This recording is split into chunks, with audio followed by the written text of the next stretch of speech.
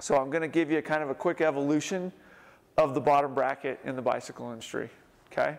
So what started out was the traditional old school little cup bearing, such as this. Again, what, what did we call these? Loose ball bearing, right? Okay?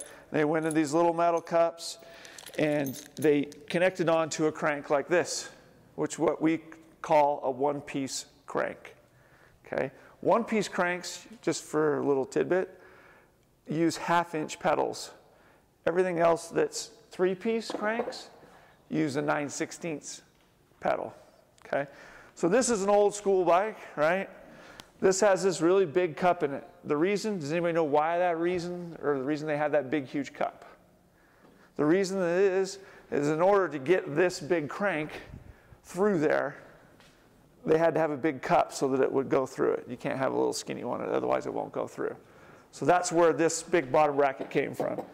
Then they came up with a little spindle that would fit into these little threaded cu cups and stick out. This is where the evolution of the three-piece crank came from. So they went with this one, and then it used what they call a square taper, which is what this little one was. And that's what this is here. And that would slide on and press onto the, to the spindle. Um, when they went to that, then they realized, wow, we could make little cartridge bottom brackets that would thread into the bottom bracket. Now it went to a little bit smaller bottom bracket, got a little stiffer, and these used a cartridge bearing, not a loose ball bearing. So, which again, people would confuse with sealed bearing versus not sealed bearing. So that's a cartridge bearing, again, square taper using the same cranks like this. Um, from there, they realized that, hey, we can make the spindle a little bigger and hollow and lighten it up. And so they went with a splined system rather than the square taper. Okay, and again, this is still what they would consider a cartridge bottom bracket. So this crank right here has the splines in here and they would match up and go on to the crank like that. Um, the problem that they encountered with this cartridge bottom bracket like this with these spindles that are real hollow and bigger was they had to reduce the size of the bearing in order to get that in there. So what they found was over time, these would wear out very, very quickly. And so it wasn't necessarily a fantastic design. So they went to what they called an external cup bearing. So again, these threaded in just like this cartridge did, but now the bearing was on the outside of the frame and they could now increase the size of the bearing and make it larger. And so that increased the stiffness and the wear on the bearings. And then they went to what they call an integrated spindle, which is like this. And so it's, it's now actually fused into or pressed into the, the crank arm. You'll see two different types. You see it like this is pressed in on the non-drive side, and this one is pressed in on the drive side. Does anybody know why they did that? The reason that they did it was they originally pressed it in on here, and they had a box this big in order to get it to fit in there. But by putting it on this side, they now can put the cranks into a little tiny box because it's not connected to the chain rings. That's really the only reason they did it. Yeah, that's pretty recent. And so it's now much easier to ship, smaller package, stuff like that. Yeah. So, um, so from this style, they went to what they call a BB30, which now went to a 30 millimeter spindle. This one here is 24 millimeters. So going to a BB30, they now enlarged it, stiffened it, and again lightened it up. They could make it out of alloy instead of out of uh, steel. So it lightened everything up. These just run bearings that drop into the frame. So much like the headsets where you have a drop in, this just would drop into the frame. Um, and it was two-sided like this. Then they, again, figured out that they could fuse it or bond it and make it an actual fixed piece and stiffen it up. Um, so from the BB30 became, the disadvantage was that one is it had a tendency to creak because it was just dropped in the frame. So what they came up with was the press fit 30 instead of the BB 30. So the press fit 30 now presses into the frame and actually has the cups and the bearings in there so that it re removes that creaking sound and noise.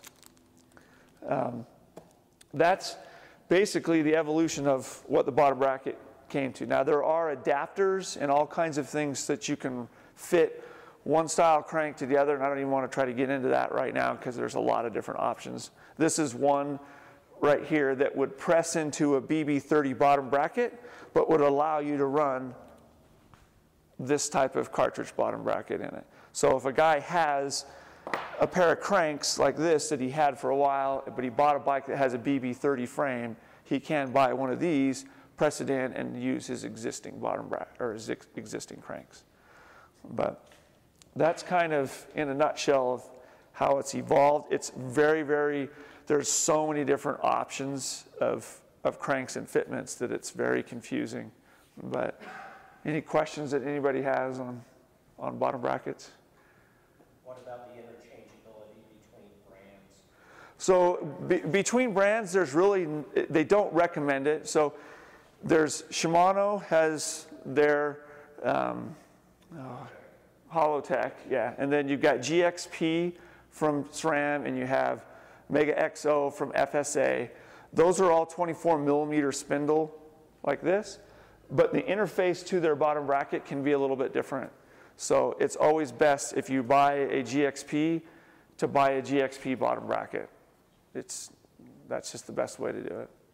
BB30 cranks are pretty universal, um, but there are different little spacers and stuff like that to, to space them out a little bit different.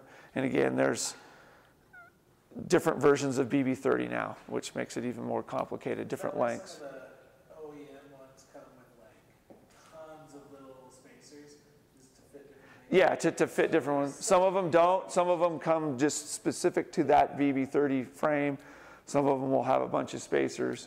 There's also what they call BB386 EVO, which is actually a wide BB30 that will actually fit into a BB86 style. This, this bottom bracket is 68 millimeter. That's the most common shell. There's 68 and 73, but 68 is probably the most common shell. When they went to this, the distance in between here is the 68 millimeters, but when you add this bearings on the outside, it became 86 millimeters wide. Now they have BB86 bottom brackets, which I didn't even bring up here, which is just a press-in version of this. And so they just press in the bearings, and now it's 86 millimeters wide. A 386 EVO is a BB30 crank spindle that's designed to fit into a BB86 bottom bracket.